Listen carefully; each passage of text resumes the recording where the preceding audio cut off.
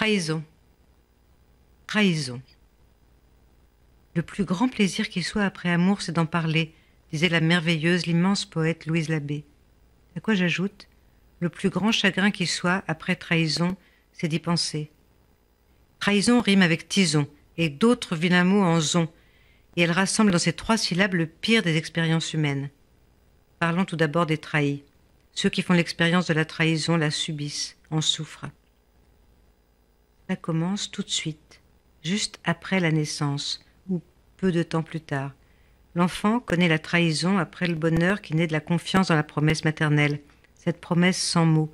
Je serai toujours là pour toi, je t'aime plus que tout. Les mères trahissent et se trahissent.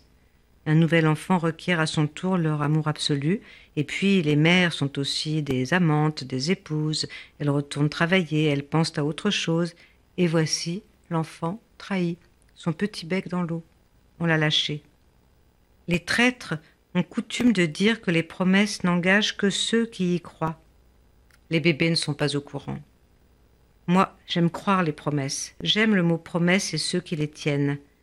Enfant trahi, J'accorde une importance démesurée à la parole tenue, car il s'agit bien de parole, tenir sa parole, une phrase qui signifie le plus souvent agir et ne pas parler.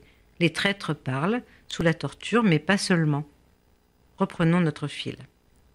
L'expérience de la trahison connaît un second pic à l'école, où l'on fait cette affreuse expérience, la trahison de la meilleure amie, sous ses différentes formes qui sont innombrables. La meilleure amie vous lâche pour une autre, vous dénonce, raconte ce qu'elle devait garder secret, vous abandonne, vous vole votre autre meilleure amie, votre fiancé, votre amour, etc. Cette forme de trahison qui s'incarne si bien dans la vie politique, où les amis de toujours se donnent à qui mieux mieux, puisque donner est le premier sens de trahir. Trahison est un des mots majeurs du discours politique. Les amis de 30 ans n'ont jamais assez de secrets à revendre, et la vie en démocratie résonne des cris des anciens amis trahis. En système totalitaire, les trahisons et les pseudo-trahisons coûtent le plus souvent la liberté et l'existence aux supposés traîtres. L'histoire des révolutions regorge d'accusations en chaîne, car on est toujours le traître de quelqu'un et le trahi de quelqu'un d'autre. Le traître peut être un innocent jeté en pâture par ceux qui veulent le faire taire, cela s'est vu.